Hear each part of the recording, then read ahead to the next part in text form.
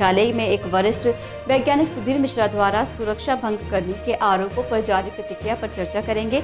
लेकिन क्या ब्रह्मोस एयरस्पेस मुख्यालय में सच में सुरक्षा भंग हुई है? क्या सुधीर मिश्रा ने गोपनीय दस्तावेजों को अनधिकृत रूप से हटाया है? और इन आरोपों का डीआरडीओ और भारतीय राष्ट्रीय सुरक्षा पर क्या प्रभाव पड़ेगा? आइए आज इस खास वीडियो में डीआरडीओ से जुड़ी इस महत्वपूर्ण मुद्दे पर चर्चा करते हैं। नमस्कार, आप देख रहे हैं एयर न्यूज़।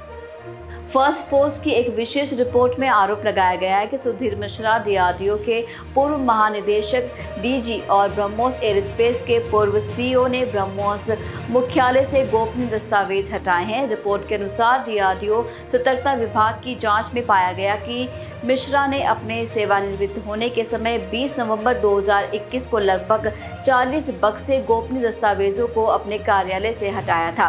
इन आरोपों पर डीआरडीओ ने प्रतिक्रिया जारी करते हुए कहा कि उसे ब्रह्मोस एयरस्पेस के पूर्व सीईओ और एमडी डॉक्टर सुधीर कुमार मिश्रा के खिलाफ एक शिकायत प्राप्त हुई थी। शिकायत के आधार पर सचिव डीआरडीओ और अध्यक्ष डीआरडीओ द्वारा एक तथ्य खोज समिति का गठन किया गया था। हालाँकि समिति को आरोपों का समर्थन करने के लिए कोई सबूत नहीं मिला। वैसे ब्रह्मोस एयरस्पेस मुख्यालय में सुरक्षा भंग की कथित घटना भारत में पहली नहीं है। पिछले कुछ वर्षों में भी कई अन्य सुरक्षा भंग की घटनाएँ हुई हैं, जिनमें शामिल है 2015 की हैकिंग स्कैंडल। भारतीय सेना की वेबसाइट को साल 2015 में पाकिस्तानी हैकर्स द्वारा हैक कर लिया गया था, जिसमें गोपनीय दस्तावेजों और संवेदनशील जानकारी का रिसाव हुआ। साल 2019 में ड्रोन हमले की साजिश। भारत ने साल 2019 में जम्मू और कश्मीर में सैन्य ठिकानों पर ड्रोन हमले की साजिश का भांडाफोड़ किया था, जिसके पीछे पाकिस्तानी खुफिया agency inter services intelligence ISI का हाथ था।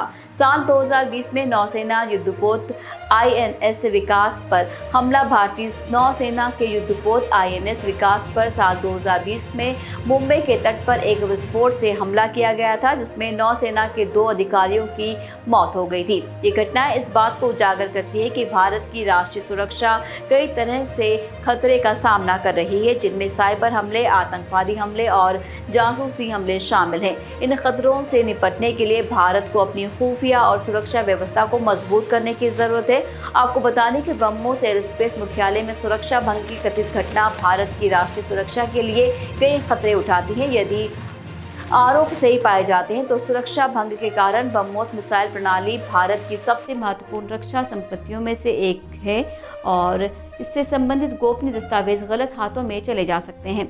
बाकी आरोप बताते हैं कि बड़ी संख्या में दस्तावेज़ हटा दिए गए हैं, जिसमें तकनीकी विनिदेशक और संचालन मैनुअल शामिल हो सकते हैं।